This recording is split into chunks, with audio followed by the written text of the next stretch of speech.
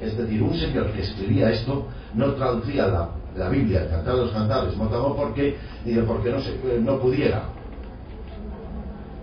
Habría que explicarlo por qué. Y esto se explicará a través de la bibliografía. A pesar de haber traducido palabra por palabra, acabó en la cárcel de la, de la Inquisición. Pura biografía. Aquí l'alma navega por un mar azul y finalmente en él ansí se anega que ningún accidente extraño y peregrino oye o siente, o desmayo dichoso, o muerte que das vida, produce olvido. Todos estos estoy anunciando un poco el conceptismo. Pero bueno. Entonces, eh, igualmente, el hecho de que el fraile franciscano de Sagún, en vez de misionar a la manera tradicional, se decidiera a recuperar la sabiduría de los aztecas, me parece que esta diapositiva la un poco más adelante. Esto lo he tomado de un anuncio que anuncia la que promociona el Códice Florentino, la obra de, de Bernardino de Sagún. ¿No? Eso es el anuncio, pero fíjense ustedes cómo eh, eh, cómo lo presentaba a su superior. Tienes aquí, observantísimo Padre, una obra digna de la mirada de un rey. Él decía, de lo que recogía ahí de la sabiduría de los aztecas, decía que él era capaz de predicarlas desde el púlpito. O sea que había un respeto extraordinario. Pero ¿por qué hizo esas traducciones? Pues hay que estudiarlo en, en la biografía. Él está múltiplemente biografiado. Me parece que Miguel Portilla le ha dedicado no solo trabajo, sino una biografía. Pues bien, digo, el hecho de que Bernardino Sagún, en vez de misionar a la manera tradicional, se decidiera, a recuperar la sabiduría de los aztecas, traduciendo sus célebres Tolni, tiene que ver sin duda con una visión particular, personal, es decir, solo biográficamente determinable de su visión, de su misión y con las vivencias particulares que pudo tener en su convento de Tlatelolco en el trato con los indígenas. Y la traducción que, de Gracián que hiciera Schopenhauer posiblemente más se deba a la sintonía cosmovisiva del jesuita con el pesimismo radical del filósofo alemán, que posiblemente con, esa traducción quería movilizar al aragonés, que había tenido mucho prestigio en el barroco alemán, a favor de sus, ideas. Saben ustedes pues que el, el, el dibujo clásico de Schopenhauer es paseando de espaldas, un dibujo que con un perrito de estos de caldero, ¿no? Era, era muy melancólico, muy... Bueno, pues posiblemente esa traducción que hoy es en día la que se sigue leyendo y editando en Alemania. Si uno va a la a eh, teclea eh, Gracián, el oráculo de príncipes, aparece la traducción de Schopenhauer, no otra, regla, hasta regla, la, una coleccioncita pequeña es esta. Pues digo, ese hecho de traducción de mucha importancia para la filosofía de, para la historia de la filosofía alemana, porque de Schopenhauer bebió Nietzsche, y de Nietzsche ya hemos visto todos los que han eh, bebido ¿no? El otro día hablamos de, de Riga. Bueno, pues todo eso posiblemente se puede explicar desde el punto de vista de la, de la biografía. Al igual que una historia de la arquitectura que no contemple las motivaciones personales de los arquitectos, las implicaciones sociales de sus creaciones y su recepción fallará en su escopo definitivo una historia de la traducción que prescinda de su sujeto y del entorno de éste dejará de explicar el resultado de la traducción en origen. Yo creo que no se puede interpretar una traducción si no se conoce esto es lo que les vengo a decir. Piensen ustedes, ¿cómo es? Me parece que es. Ah, ahora no me pasa también un poco. Este que escribe la, las vidas de arquitectos de la. Eh, Vitruvio, Vitruvio. Vitruvio, ¿no?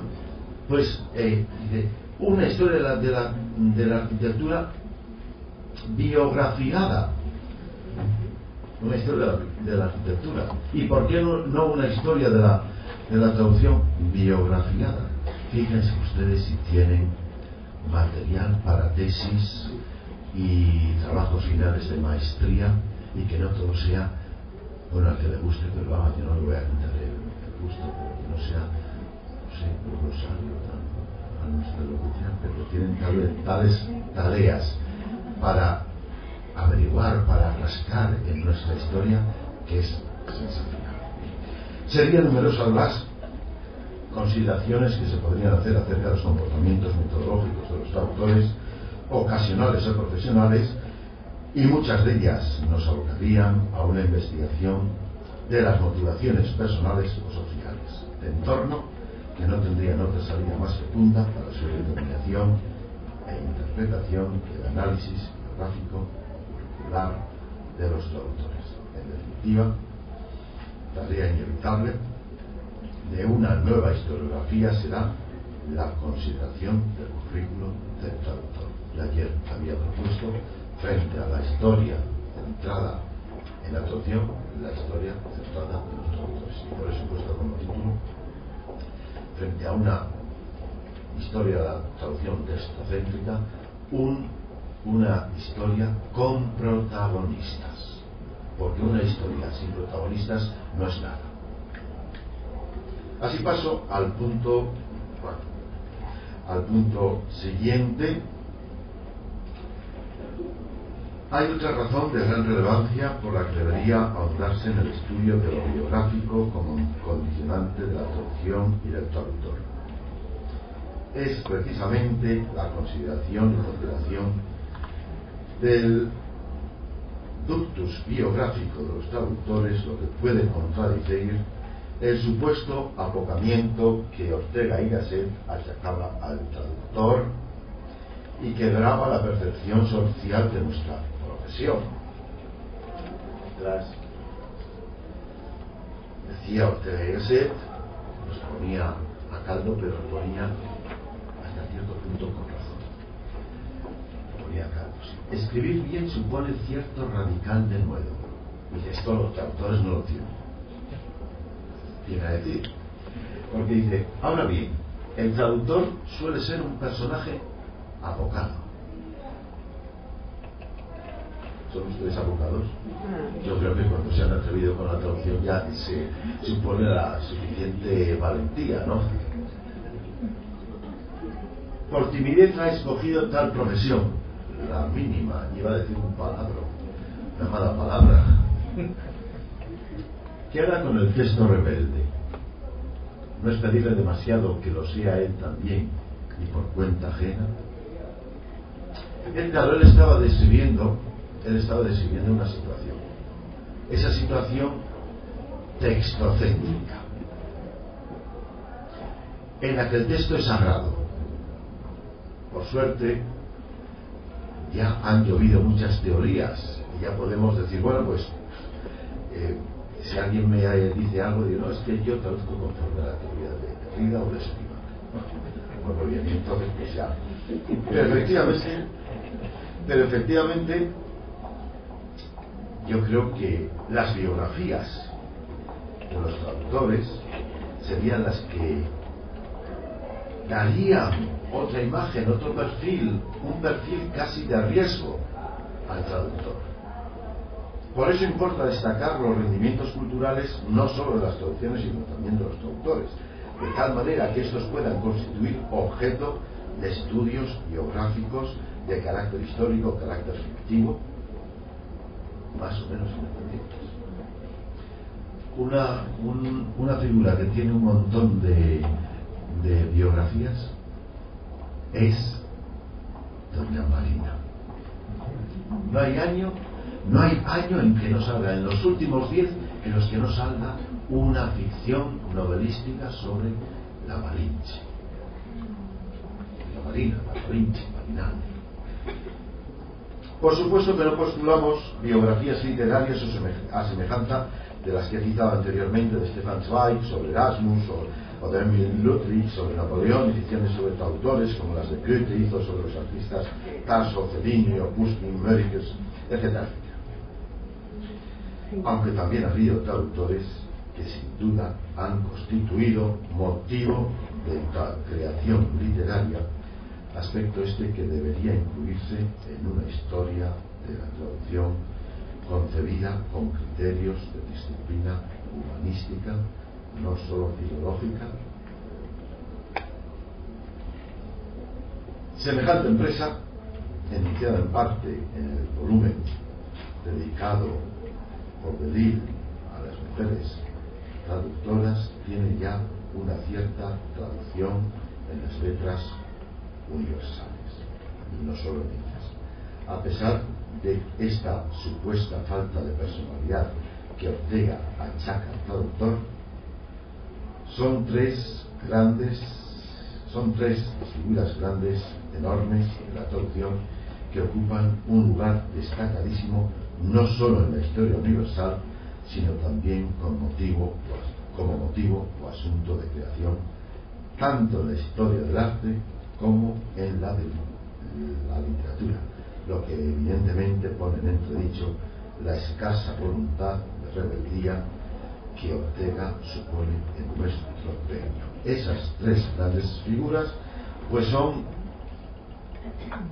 como no podía ser menos, San Jerónimo, Jerónimo de Estridón, el dúo Malinche Jerónimo de Aguilar, que también se llamaba Jerónimo, el pueblo de Aguilar, o dueto, más bien, porque trabajaron poco tiempo, y Martin Luther, Martín Lutero, son nombres que de la historia de la traducción han pasado a estas latitudes, a otras latitudes culturales de mayor espacio público. La ingente iconografía jeronimiana, que yo no les voy a repasar eh, aquí para no chupar rueda de, la festividad que, que celebramos, pero que bien podía, Y advierto que, como saben, el, San Jerónimo es uno de los motivos más frecuentes del arte cristiano. A lo largo de la historia del arte, el Randallo, el de medicina, Rivero, pues se los enseño. Los motivos malinchianos del muralista, del muralismo teológico, Rivera, Rivera o Siqueiros, que en algún caso incorporan incluso a Jerónimo de Ávila o los retratos del reformador alemán por parte de Kramer, Holbein y otros pintores renacentistas y románticos alemanes son testimonio de ese tránsito de la profesión a la historia general del arte gracias a una, a una gran personalidad en cuyo perfil humano tuvo la actividad mediadora de mediación intercultural un papel importante. Así pues, a primera vista y a juzgar por la presencia de los autores en estas disciplinas creativas, uno se siente inclinado a negar la mayor de aquel argumento con el que Ortega proponía la imposibilidad de la traducción perfecta. Porque eso sí, encima nos achacaba Ortega que no la traducción perfecta se debía al apocamiento de los traductores. Y que como son tan apocados los pobrecillos, ¿por qué? Porque no nos atrevíamos a traducir como si estuviéramos escribiendo. El que traduce, eh, perdón, el que escribe es original fundamentalmente. La originalidad es lo primero que tiene que traducir un escritor. Y claro, el traductor originalidad no tiene, no puede tener porque tiene que repetir lo que ha hecho el texto. Y ahí sí que nos vienen bien dónde está el que el que me dijo que recuperamos que, que habíamos recuperado las teorías de la traducción eh, del primer día pues el segundo pues aquí es donde vienen aquí es donde vienen sí. Como no resistaba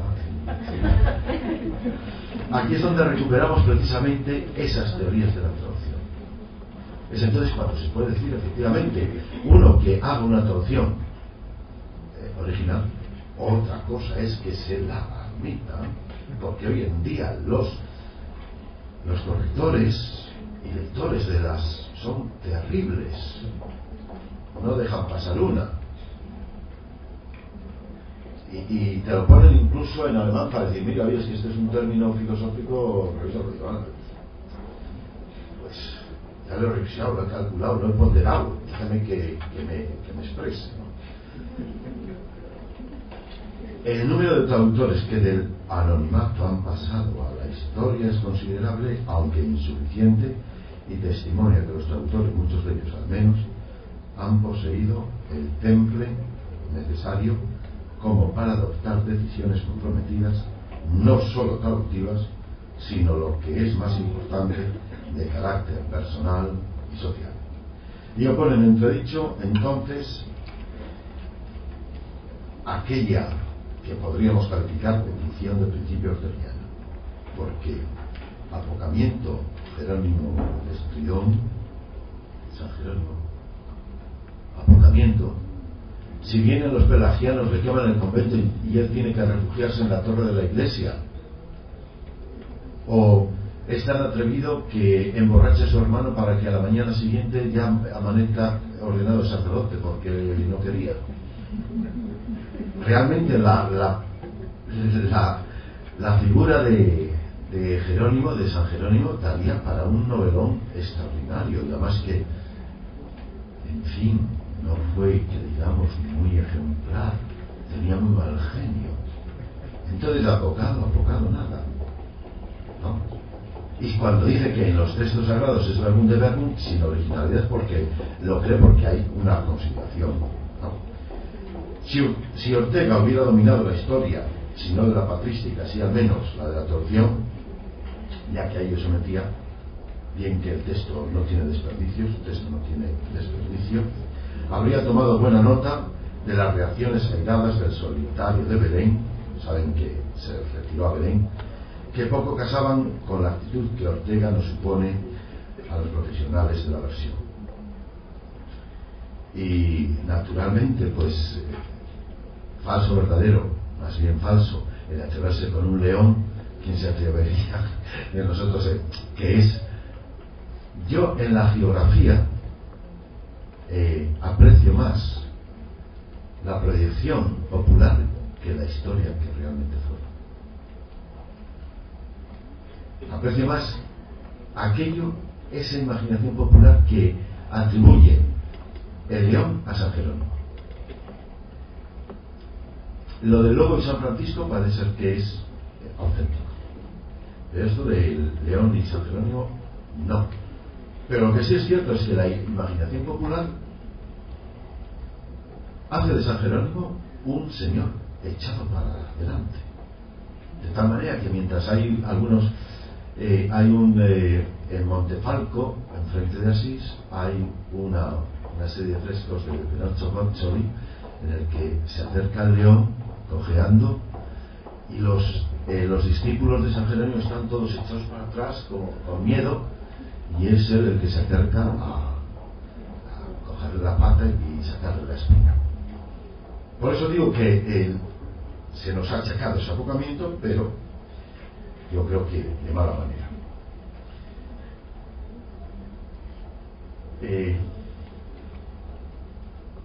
ni más ni menos que el olímpico Goethe, el mismo traductor ocasional, ha elegido en su obra maestra un monumento poético a la labor traductográfica de Lutero.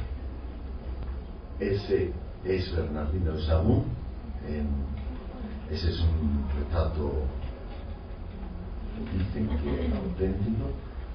Eh, parecía que era un señor muy alto, muy guapo, cuando vino de de Sevilla a México tenía que, tenía que ir guardado por sus hermanas porque las mujeres se le echaban encima. sí, eso, eso dice, auténtico, porque era, había unos 90. En, aquel, en aquella época todo.